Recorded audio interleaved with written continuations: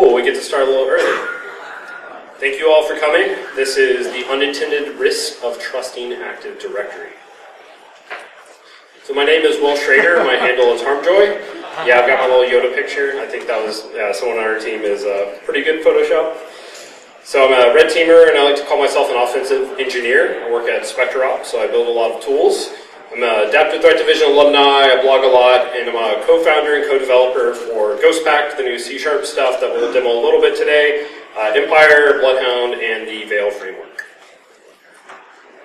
So my name is Lee Christensen, Tifkin on Twitter. Uh, I do a bunch of stuff at SpectreOps.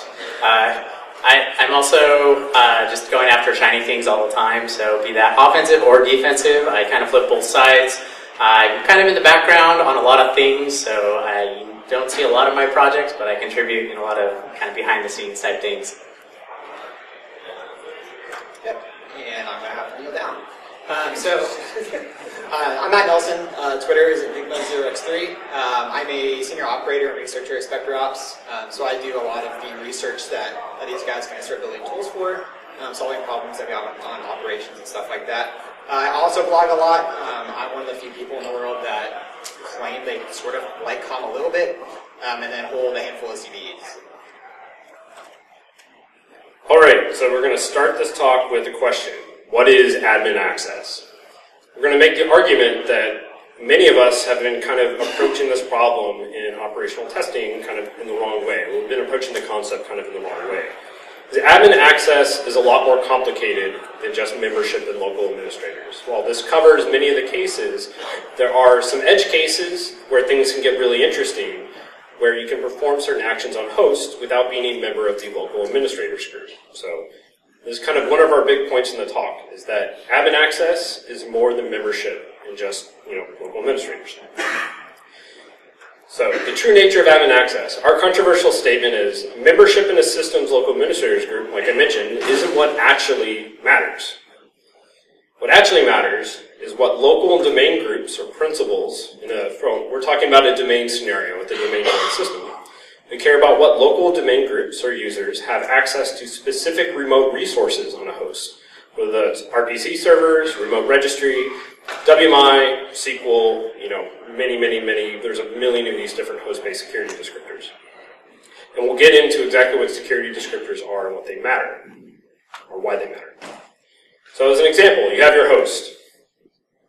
Many people just think, okay, I need to pop this host. I'm going to do like a Bloodhound attack graph, or I'm going to do whatever else, and I can figure out who's the member of local admins on this box, and then I'm going to do my lateral movement and pop the machine. But this is what the system actually is. It's not just one host where like local admins is the monolithic, you get remote access to the system. A host is a collection of services. Many of these are registered in Active Directory through Kerberos or other authentication protocols. So you can have your WMI, your WinRM, Service Control Manager, all this kind of stuff I talked about. So what controls access to these particular remote services that all act independently? So again, there's not a single security descriptor, or there's not a single set of rules that says user A, B, and C has access to all these things. Each service contains their own set of rules in the host in the form of security descriptors. Just binary blob that says who can do what to this particular service.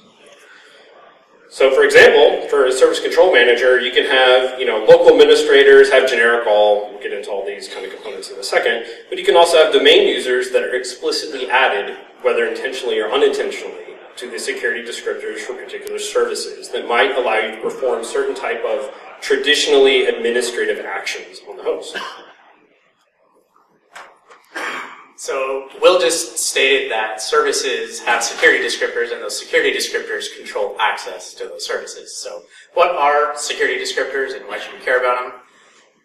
Security descriptors are the mechanism that Windows uses to control access to a service. Uh, so any sort of securable object, we say. Um, securable objects are, so what are they? Uh, any object that can have a security descriptor. Kind of a dumb definition. Uh, but essentially what that means is you have the security descriptor. It's just a structure inside of Windows. It has a bunch of different components. Um, as an attacker, we're very interested in those two red highlighted uh, fields there. So an owner and a DACL. So uh, what we're going to dive into a little bit about what these are. Uh, worth mentioning is the SACL, because that is a component that defenders can use to monitor access to uh, these objects. So we're going to focus in a little bit on the owner and the DACL and how we as attackers can use them to our advantage. so the first instance is that owner field. Uh, owners have complete control over an object by default. So if I'm an owner of, uh, of an object, then that means I can uh, add rights to it. So I could say Will now has rights to uh, control this object. I can write to that object. I just have complete control. Likewise, that second field uh, was the DACL. So the DACL is a list of access control entries. So it's just a list of permissions granting or denying users access to the object. So if you take like a file object, for example, uh, there's diff- uh, in the DACL, there's different rules that allow and deny users access to that file. Uh, these uh, files are not the only securable object, like we mentioned. There's a bunch of different uh, kinds out there, file shares, uh, files, Active Directory objects. All of these have owners. All of these have DACLs on them that control access to those objects. So how does this familiarly, or how does this normally look? Um, if you've ever looked, right-clicked on a file, for example, and looked at the permissions, this is what it's looking like underneath. Um, you can see the DACL is outlined there, and there's on the left you see the type of access. So these are allow access. And then inside, uh, there's a list of permissions that are granted. So you can see we're allowing marketer read access uh, in this case, and you can see that IT admin and the administrators have full control over this, this folder up at the top. So that's. In this case, we're talking about a file object, the downloads folder. Uh, with and in addition, so that's the DACL, and then up uh, right underneath, you can see the owner is that IT administrator as well. So that owner can do anything to that object. So we have these objects, they have their owners and their DACLs on them. Uh, and then when, an, when a, another user tries to interact with that service, so let's say it's a file, uh, file share, the individual service performs an authorization check. It's not some centralized component inside of Windows that's doing the uh, authorization check or deciding who gets access to the file share. It's the file share service itself that performs the authorization check. The same goes for WMI, the Service Control Manager, etc. Those all have security descriptors that say who can access each one of those services. So what the service does is it compares, it looks at the user who's connecting to the service, and then it looks at its security descriptor and says, is the connecting user a member in the, in the DACL, in the security descriptor? Um, if so, we're going to grant them access. It's not in the list of accepted users, they're going to be denied access. So fairly simple. Um, you see this a lot. So a lot of Windows services has the local administrators group added or granted access to things. So for example, the Service Control Manager or WMI um, or the like CIFS, the file share, uh, local administrators by default are added to the DACLs of each one of these services. That's why they can access them. However, you know, those local administrators could also, could also be removed from those same security descriptors, and then they wouldn't be able to access those services anymore.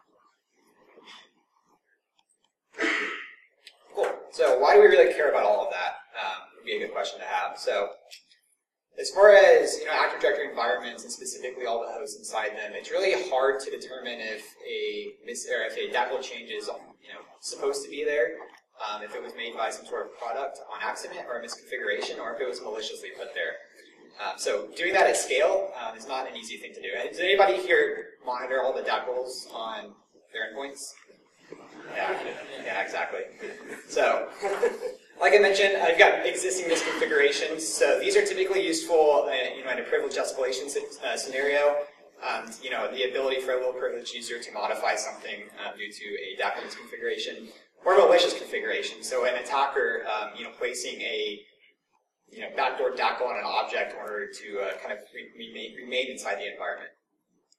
So the cool thing about these is since it's not easy to audit or monitor outside of samples, um, you know, the forensic footprint that exists there is pretty, pretty small. So it's a pretty safe way for an attacker to remain persistent in an environment and not really have to worry about um, that backdoor access being discovered. Additionally, uh, many teams, um, you know, blue and red, aren't aware of these configurations, let alone, you know, using them or looking for them, um, which kind of adds this double component for utilizing these uh, operationally. So, like uh, like Will and Lee mentioned, um, host-based security descriptors uh, is more than just a service control manager. So, like Lee said, all of the um, different services and resources in Windows are controlled uh, via you know entries into the DACL. So, did anyone happen to see our talk last year at Derby on the host-based stuff? A few hands, yeah. So we covered additional, uh, like five different backdoor scenarios specifically for host-based DACLs. Additionally, we've done some research on the Active Directory side that we'll talk about in a bit. But so we're only going to touch on a couple of use cases specifically on the host side, but there's many, many, many, many, many, many, many more. Yeah, this is just the uh, this is just the surface. So. Um, Microsoft's documented a lot of these securable objects out there. Um, in the documentation, there are roughly 20 to 30 of them. Uh, through enumeration, we've identified over 70 that exist. So there's a lot of attack surface as far as uh, you know different operational components you can utilize. Um, for RPC servers specifically, which is like we mentioned a securable object, um, if you're going to utilize those, um, you know, unless you really want to spend the time reverse engineering, uh, Microsoft's documented documented most of those RPC servers for you which is really, really nice. So Lee also has a script called find at registry security descriptors uh, sitting somewhere on the internet. I don't think it's on a GitHub. I found it on some like cache website earlier today. Um, so we'll have that reposted as well, which can kind of show you what it might look like when you go to enumerate those. Um, has anybody heard of NT Object Manager from James Forshaw? So it's a, really great tool to also kind of go through and analyze some of the underlying components of Windows, specifically some of the security descriptor stuff. So when you're using Lee scripts, uh, this is what the output looks like. So um, all this does is it goes through the registry and it tries to identify any kind of bi binary blobs and then it tries to convert that into a valid security descriptor and then output that for you. So this will just kind of show you some of the different objects that are registered in the registry that have a security descriptor applied to them. Um, and then you can manually go through the hundreds of thousands of results and kind of derive what you want to utilize there. So when we're talking about security descriptors, um, there are kind of two different kinds um, per se. So there's persistent and there's kind of runtime or dynamic objects. Um, each object gets can get their security descriptor from a different place. So just because the RPC, you know, some RPC service has a security descriptor applied to it, um, that how it's applied might not be the same for some other object. So You've got persistent objects, so a security descriptor that's applied to something like a file. Um, you know, you right-click properties via the security tab, that's the security descriptor for that file. Uh, you know, the registry, etc. Uh, runtime would kind of apply towards more dynamic objects, so things like processes and tokens. So security descriptors, like they mentioned, define access to what a resource user can have, which more or less defines boundaries, um, you know, for a user as far as what they can do. So when you're enumerating these, um, we typically have an approach of enumerating locally and remotely, both, both privileged and unprivileged. Um, the reason for this is because in order to enumerate some components, um, you have to have specific token levels and uh, just kind of get as much information as you can, uh, doing it locally, remotely, um, and privileged and unprivileged. That will be the best results. So an example of this uh, remote registry, like we will mentioned, we uh, talked last year at Derby on something similar to this. Um, so just think of a scenario of remotely dumping a machine's uh, account hash. So for those of you that aren't familiar with that, thanks to um, Benjamin's great work um, and many others, uh, you can use that machine account hash to do things like silver tickets and other various attacks. So this kind of attack or this kind of backdoor persistent access is going to set up to allow an attacker to remotely retrieve a remote computer's machine account hash without having any administrative access to that host. Administrative, yeah. Due to a very granular um, DACL change that we've made. So the process for backdooring this would look something like this. So first, um, in order to apply the backdoor, we want to allow a specific user or group. It doesn't have to be one thing or another. It can be, you know, whatever, whatever user account or, group access you want to add to it. Allowing that user to remotely access remote registry. So uh, that's defined via the WinReg key um, in the registry, so you can use WMI uh, to go over and add that uh, specific user that you want uh, to be able to access that. Then you just add a few different aces to some uh, different uh, registry hives and keys that will allow you to hold that, hold back the key material that you need to calculate and, and retrieve the machine account hash for that, that guy. So in that case, we're adding, we're modifying the security descriptor of the registry, the remote registry service to allow us, to allow an unprivileged user to get access to these sensitive um, registry keys and, and values. So obviously you need administrative access or privilege in the environment to do this, given you know it's a persistent technique. But that can allow an attacker to say, I want for the exchange server, for the domain controller, I want to grant, you know, Nancy from HR the ability to retrieve this account hash, or I want to grant, you know, authenticated users or domain users, so that if they get back in the environment, they can immediately, you know, elevate back up that domain. So once we've added that backdoor, the process for retrieving this is pretty straightforward. So as that backdoor user or group, we're going to connect to the remote host um, over remote registry. We're able to do that because we've added that, that backdoor privilege for that specific user. Open up specific registry keys that are linked to LSA and extract those classes. Combine these classes, the values to calculate the boot key. Use that boot key to decrypt, to decrypt the LSA key. And then we can finally use the LSA key to decrypt the machine account hash for that remote host. So again, we're all able to do this because even though the user is not an administrator on the remote host, we've granted a specific user or group the appropriate permissions for the DACL that allow us to access this information. Does anybody think that they would be able to see that kind of thing on their network right now? Maybe two. Once that happens, uh, everybody gets a silver ticket. So, yeah.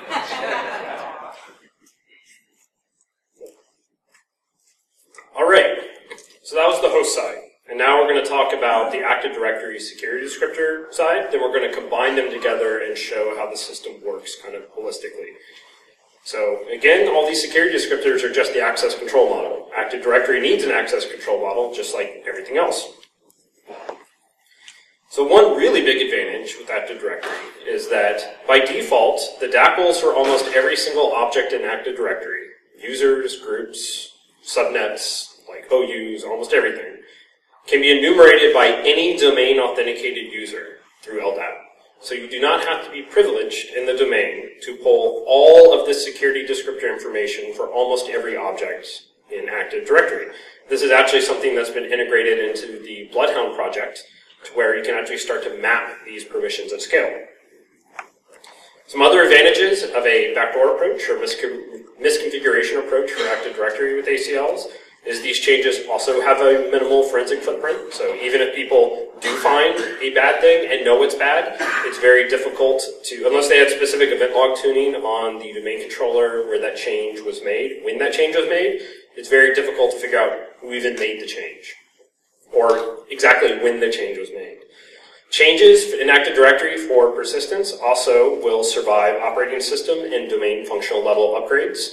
This kind of leads into a term that we're kind of calling misconfiguration debt, to where if you have a domain that's been around for 15 years and you installed some crappy third-party thing 13 years ago that added itself all these permissions and all these all this kind of stuff in the access control model, even if you remove that, even if you remove that solution as your domain is upgraded, many of these permissions likely still persist. So you just get all this cruft and things start to build on each other. And we found old permissions from, you know, like 2003 or something like that that still exist in a modern domain.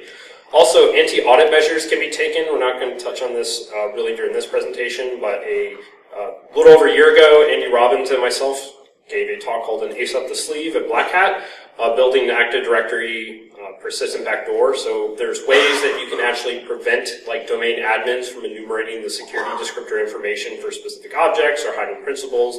So even if people find the bad entry, know it's bad, know it's not a accidental misconfiguration, uh, you can actually like take anti-audit measures to mess with blue teamers even more. That was us trying to go as evil as possible. So this is the graphical representation of all that security descriptor stuff for Active Directory in ADUC. So we have permission entry for victim user, so this is the victim object. We have the principal, so this is the person that has the rights. And we see there's a whole bunch of different rights. Some of the ones we care about are like modify permissions, so you can grant yourself anything you want, modify the owner because they have full control, force reset the password, lots of other stuff. So what rights do you care about? In the white paper that's on our site, along with, uh, that was in correlation with the Ace Up the Sleeve talk, we have like a 60-page Active Directory only security descriptor white paper that covers all these more depth. But in general, we care about the generic all right, which grants generic rights to the object, uh, the generic right object, which allows for modifications of almost all properties of a specified object, uh, right DACL, which you don't have the ability to like force reset someone's password, but you have the ability to grant yourself the ability to force reset someone's password. Or right owner, so if all you have is right owner, you can just modify the owner of that object to yourself, and then you have full control.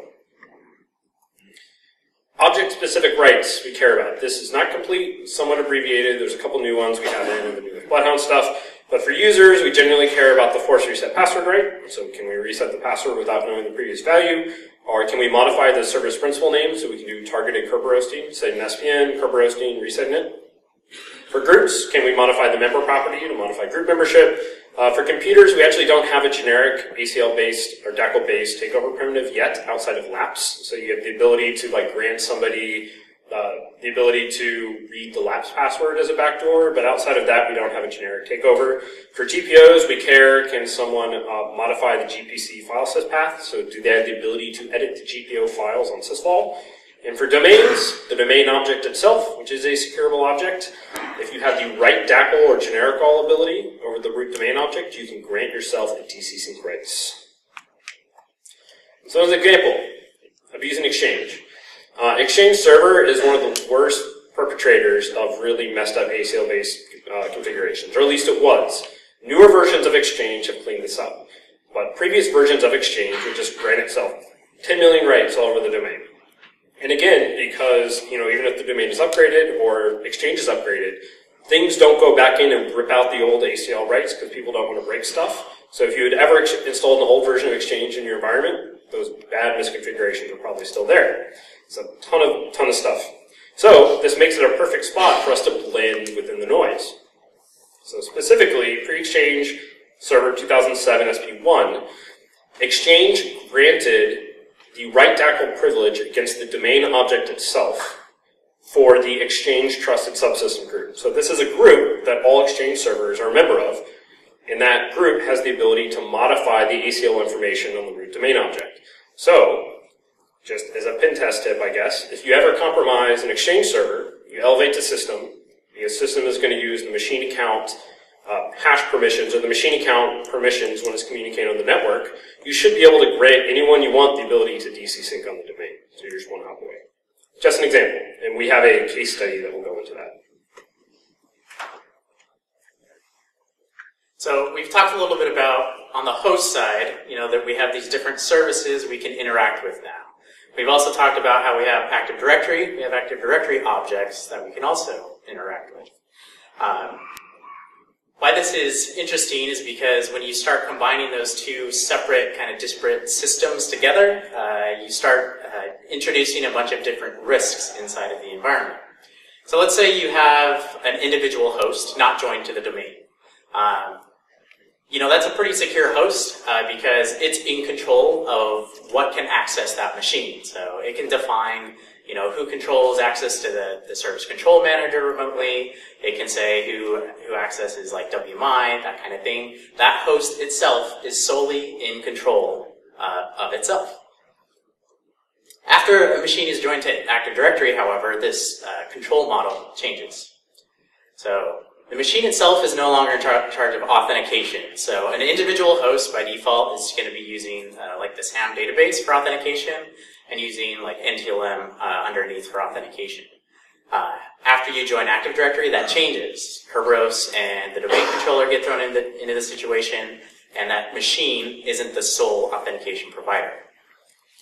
Um, that permits, you know, a, a variety of different attacks like silver tickets and golden tickets um, which, which can allow an attacker access to the system.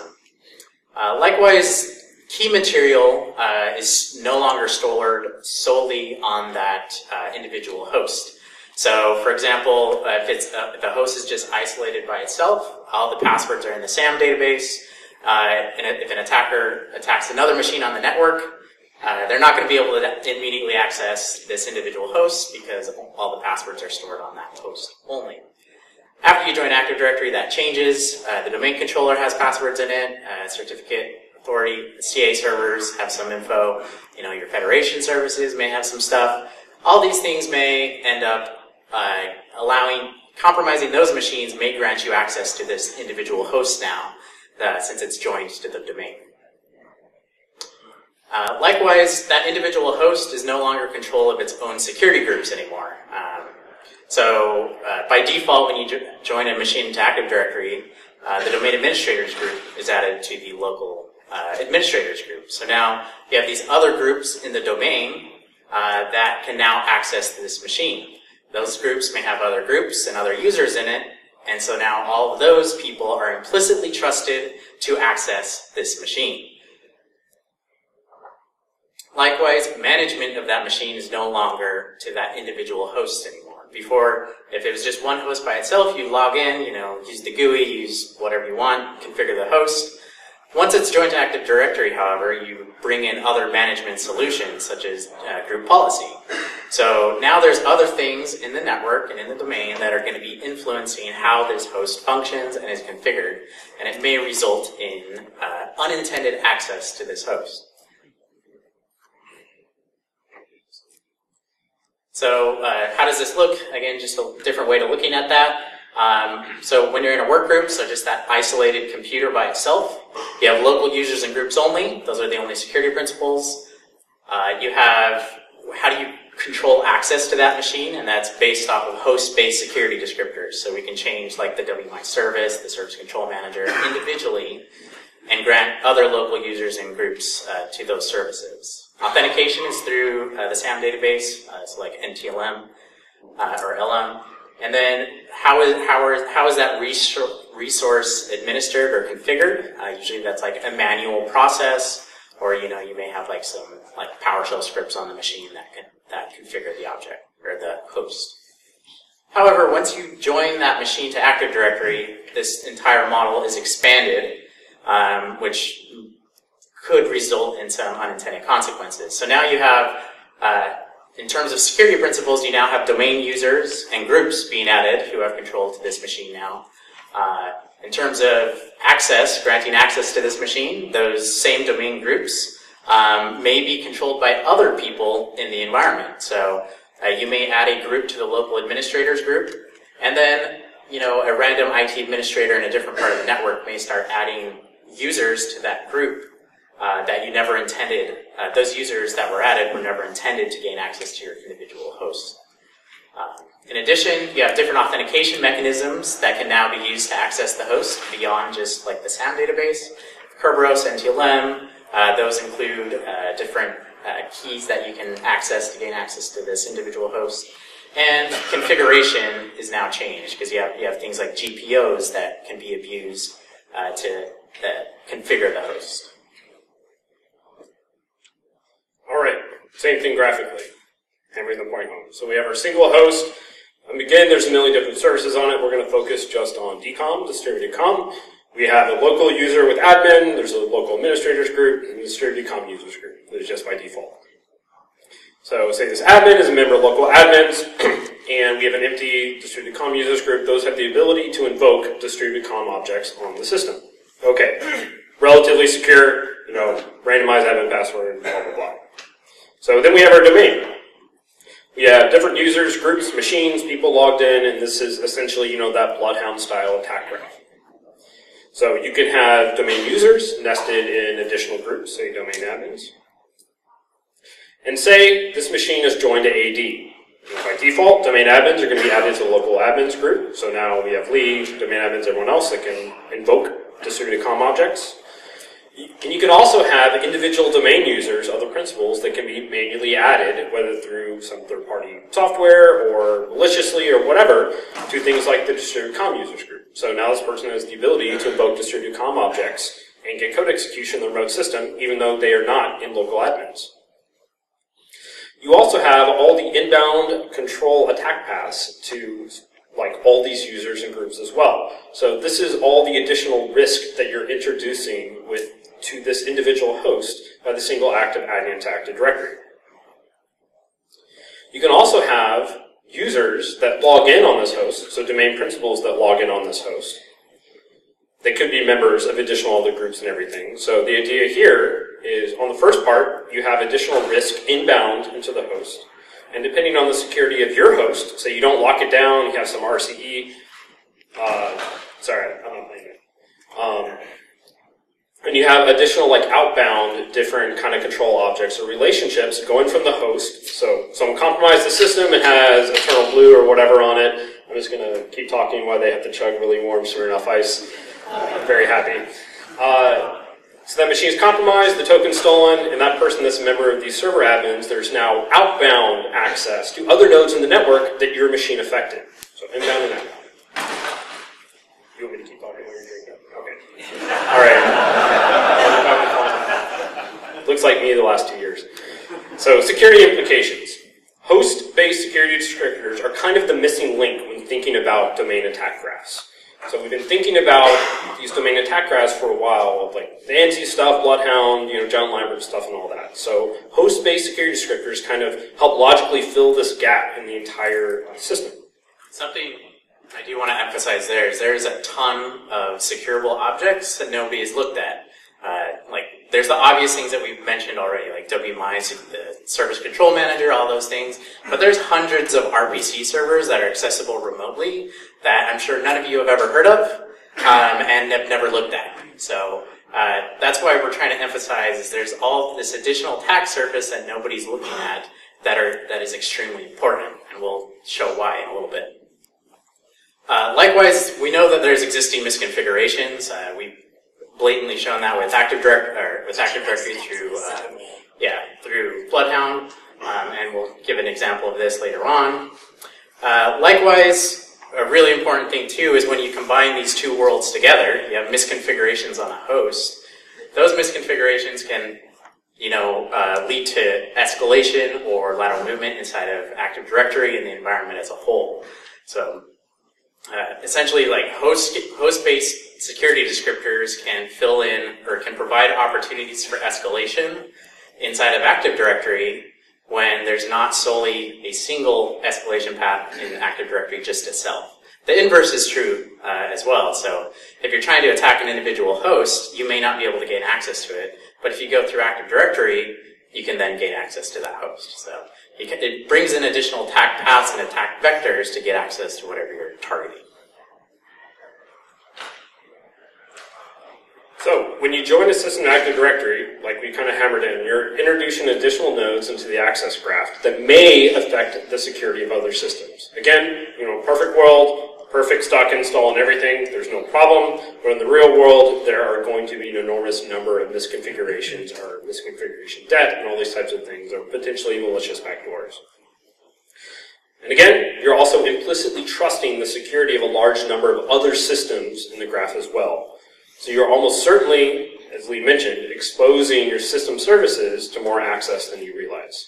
So we realize this kind of maybe seems self-evident, but this is just the way we broke the problem down of thinking of host, host-based security descriptors combined with Active Directory and everything to where the actual attack graph is enormous, to where we only model the 80 Active Directory, like ACL-based component with Bloodhound in the real world or in the, like what the attack graph actually is would include the security descriptor information for every single service and every single host, including all those like hundreds or thousands of RPC servers.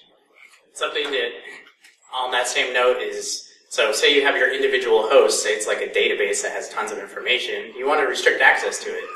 Uh, and limit that as much as possible. So maybe you just allow one domain group access to that, but that domain group itself is controlled by IT administrators that may not have the same security mindset that you do. So they may inadvertently, without understanding the security implications, start adding users and other groups to that, that group. And so, again, it's un- unintended consequences. You never had that intent of granting anybody else access, but because other people didn't have the same security mindset as you, uh, these new paths have been introduced. Cool. So first case study that we're going to talk about kind of weaponization. Uh, we're going to pick on Exchange again. So like Walt mentioned, um, the Exchange trusted subsystem, uh, which contains you know all the administrator or all the Exchange servers in that group, uh, typically will have a large amount of rights over the domain or the domain objects. So we can kind of abuse the remote registry backdoor um, to go from um, you know keeping our access in the environment by allowing any defined group or user uh, to basically become instant DA video demo of this. I don't know how computers work. So, add remote reg backdoor is a function we wrote to backdoor a remote registry specifically for removing or extracting the machine account hash. So let's give it a computer name. In this case, we're doing exchange. We're adding a domain user called Jason. So Jason has no privilege in the environment. He's just, you know, some random Joe Schmo. After we have added or modified the security descriptor on those objects. That's the entire background. Yeah. Um, we can now switch over to Jason um, here in a second. Uh, what's cool about this is a scenario like I mentioned earlier would be if an attacker gets kicked out, they can refish, they can add a group uh, to that, and then kind of pivot up that way. So we've got a function called get machine or get remote machine account hash, give it the computer name as that user, and then it'll just pop out the machine account hash for remote host. So since we're doing this against Exchange, we can utilize kind of the misconfiguration that a lot of organizations kind of inherit um, to do some really nasty stuff. So here we're just taking that hash and we're using uh, overpass the hash to kind of put ourselves in that context since we've got the uh, machine accounts uh, hash. So we use Mimikatz to do this. Um, the user is going to be the exchange server dollar, so the computer account and the hash of that. So now that we're running as that, uh, we can pop open Mimikatz again, um, and we can kind of demonstrate that you know we can do more or less whatever we want. In this case, uh, since um, you know the exchange trusted subsystem has a lot of control over those different objects. Uh, we can do something like DC sync, um, we can instantly or pull grant ourselves DC sync rights or Yeah. whatever rights that uh, exchange. So here we've just pulled the carry TGT hash from the domain using the backdoor that we've installed as a just having access to that exchange server. Cool. All right. So, like, kind of cool. There's one, like, you make one little backdoor to one system. There's no malware running. You can come back in and then pop the entire domain at will forever, basically, unless someone found that backdoor in the registry on that one exchange box and wiped everything out. So, say, second case study. That one was persistence. So again, you had to be elevated on that exchange server to implement the backdoor, but persistence. Now we're going to cover existing misconfigurations, and Lee's going to cover a really cool thing that he found. So we have a couple of ingredients. First ingredient is unconstrained delegation.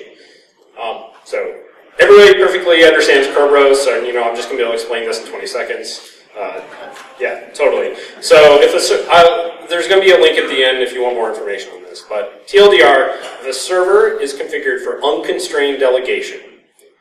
Service ticket request to that server will include the requester's ticket granting ticket stuffed in the service ticket. So user authenticates to a service in an unconstrained server. That user's TGT is stuffed in the service ticket, sent to the server, and that's cached uh, at least for a small period of time, if not more, in LSAS on that unconstrained server. So TLDR, if you can get a principal to authenticate to an unconstrained server that you control, you can extract their ticket granting tickets out of memory, whether through um, LSAS manipulation with Mimikatz or through using some of the approved real like LSA APIs.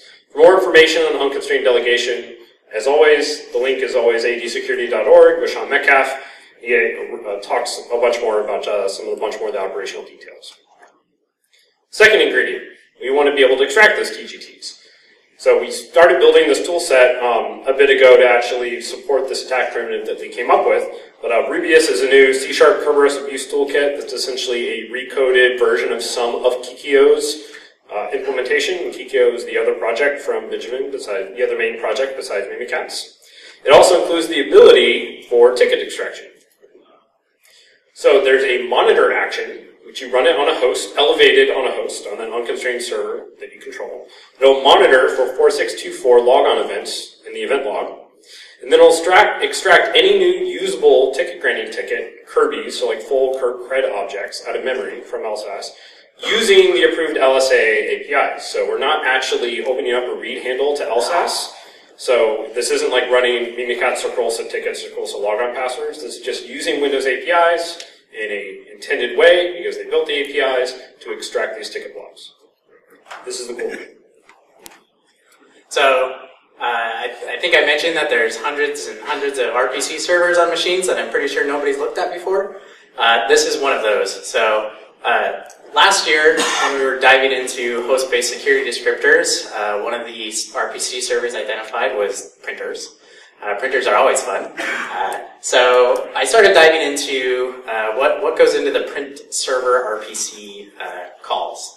So there's uh, one interface that you can interact with called the Print System Remote Protocol, MSRP, RPRN.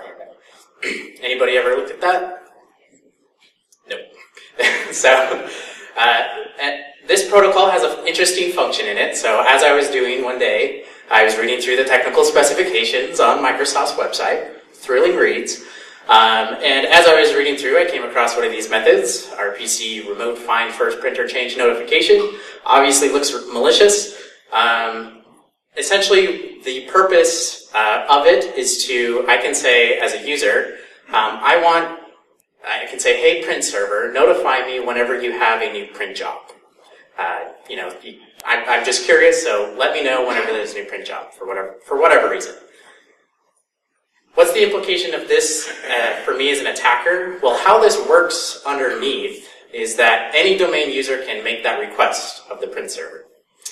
Um, and Spooler is enabled on every single machine in modern domains. Um, and so any user can actually request this from any print server uh, in, in a domain.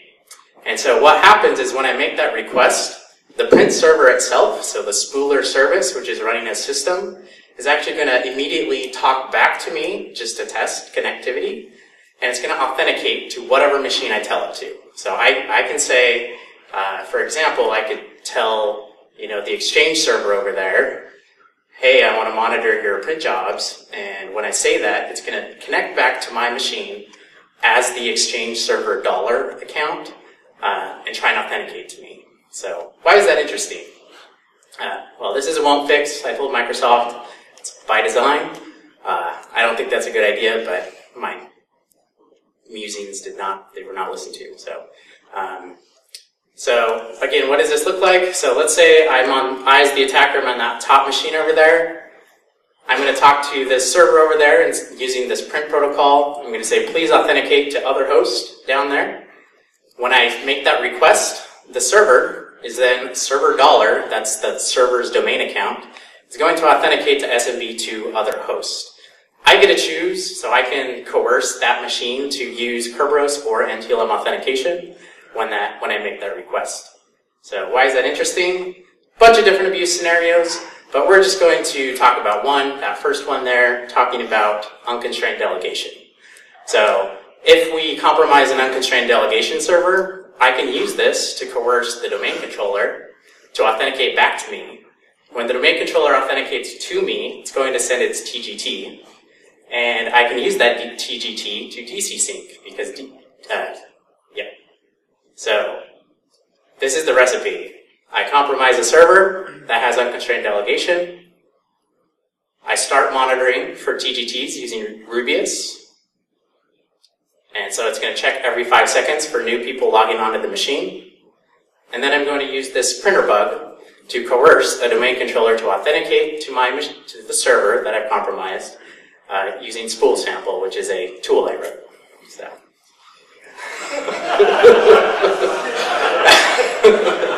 and then once you've got the, the domain controller's ticket, you load that up, DC sync problem. So what does this look like?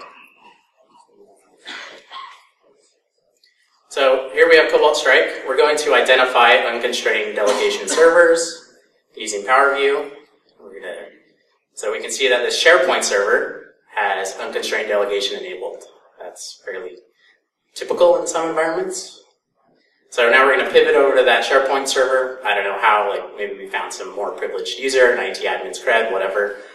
We're going to pivot to that machine. Now we're on an unconstrained delegation server. We're going to start monitoring for new ticket granting tickets using Rubius. So now we're going to be monitoring specifically for the domain controller logging into this machine. And when it logs in, we're going to dump its ticket. So we're going to execute that. It's now monitoring for new logins. We're going to use spool sample to uh, request that ticket. So this is going to coerce the domain controller to authenticate to the SharePoint server that I've compromised. I execute it. We wait a little while for this to happen, and you can see the domain controller authenticated and sent its TGT. Now we can extract the base64 encoded version of that. We're going to write that to a file using some PowerShell, that ticket.kirby. This is on my attacker's host. I'm to write it there, go ahead and execute it. Now we're going to use, now we're going to look it up, load it up. We're going to make a sacrificial logon session so we don't screw anything up. So, yeah, the password doesn't matter here. I'm just doing this so I don't clobber the current logon session. Then I'm going to load up the Kerberos ticket uh, using Beacon.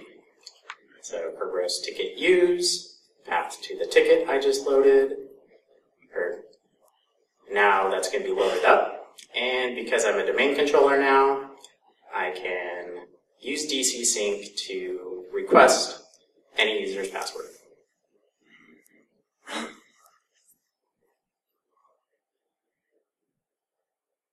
Sure, worked.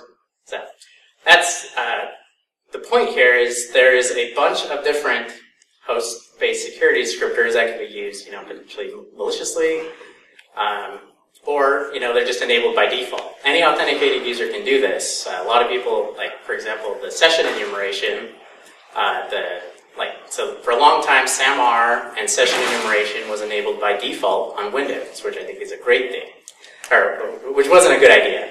Uh, Microsoft has since uh, made some changes to restrict that. So, for example, modern versions of Windows, you can't enumerate the local administrators group. Um, like we said, though, there's hundreds of RPC servers, and many of those have yet to been fully analyzed, and many of them allow any user to connect to them and inter- interact with them. Um, and that's exactly what we did with like the print server one there. And there's many others. So, summary. Access is more than, it's more complicated, we'll say, than just the membership and local administrators. Host-based security descriptors, whether accidentally misconfigured, uh, configured by default incorrectly, or maliciously backdoored, can have far-reaching implications for the security of other systems in the domain, and vice versa. You know, you might have your database compromised because one host has a misconfigured host-based security descriptor. It's an extremely complex system. Defenses should focus on restricting access to all secureable objects, host, Active Directory, Exchange, SQL, and everything. This is kind of somewhat uncharted territory. We know we need people need to start building the tooling for this, spread awareness, and things like that. It's a very complicated problem, a very complex system, but we think we can start tackling some defensive components for it. So that's pretty much it. Unless we have any questions, we know we started a little bit early. Um, I, yeah, I do want to give a little shout out to Elad Shamir. Uh, I interacted with him previously. And he also subsequently found that print, printer bug thing. Um, so just want to give a shout out to him as well. Any questions?